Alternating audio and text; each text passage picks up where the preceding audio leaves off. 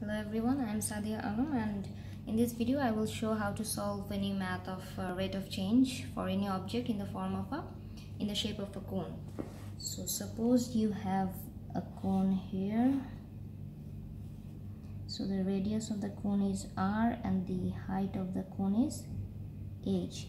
So volume of the cone is 1 by 3 pi r square h. 1 by 3 pi r square h so for any cone if the angle is 2 theta it is if it is a uh, right circular cone then we have a right angle triangle here. It should be like this one. If the total angle is 2 theta this will be theta. This is your radius and that's your height. So tan theta equals radius by height so this is the main formula of the volume. And you do not need to memorize this one since you can find tan theta equals to opposite by adjacent for any right angle triangle.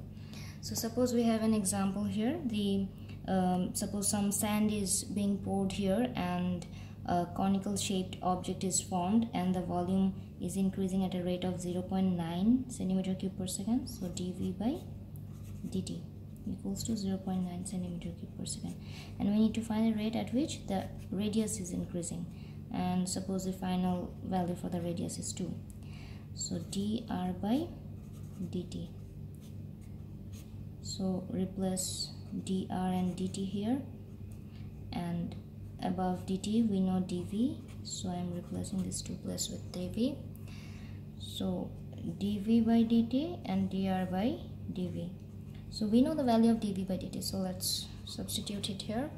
And about dr by dv. Volume is 1 by 3 pi r square h. Like i have mentioned in my previous video and uh, which was about the rate of change for any uh, cylindrical object uh, the problem was you had radius and uh, height. Both the terms uh, are like x but you need only radius or only height. The reasons for this are explained in uh, the previous video. So check that out. And uh, for this one we need to differentiate volume with respect to the radius. So the height has to be replaced here. So the triangle uh, the cone had an angle of 60 degrees. So if I draw a right angle triangle here this angle will become 30 so this is your 30 degree angle this is 90 degree this is your radius and that's your height. So from this triangle we can write that tan 30 equals to radius by height that is opposite by adjacent side. So from here we can find that h equals to r by tan 30 so this is your value of h so I am replacing h. So radius by tan 30 so 3 into that tan 30 1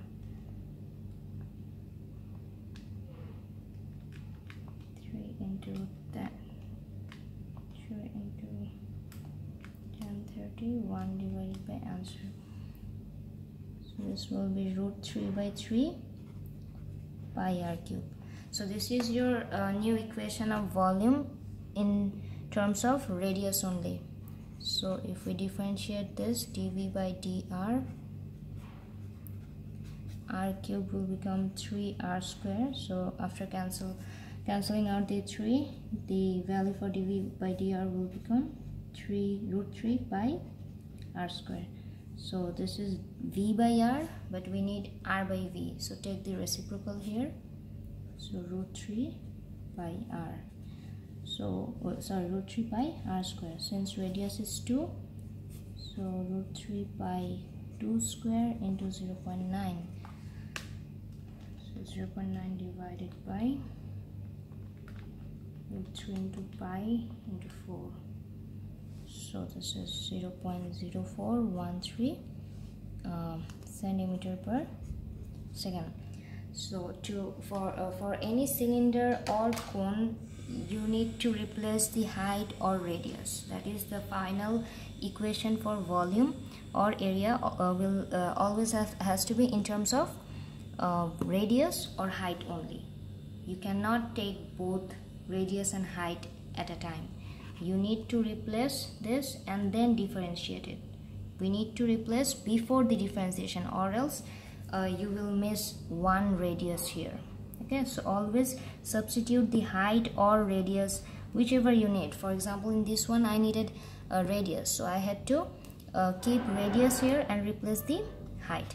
So after replacing we uh, we, uh, we will get the new equation which can be differentiated with respect to radius so that's how you can solve any maths for cone. For cone they usually uh, give maths for volume only. The total surface area um, is not that much important for in case of cone. Even if they give that you can use the formula for the total surface area of the cone which is pi r square plus 2 pi sorry pi r square plus pi rl l is the slant height and for all these videos I have always mentioned volume is increasing radius in is increasing. It doesn't matter. Even if uh, it uh, the question says that volume or radius are decreasing uh, there is no change in the maths. It's all the same. So that's why the name is rate of change. It can increase or decrease. It doesn't matter. So that's the end of the maths for rate of change I guess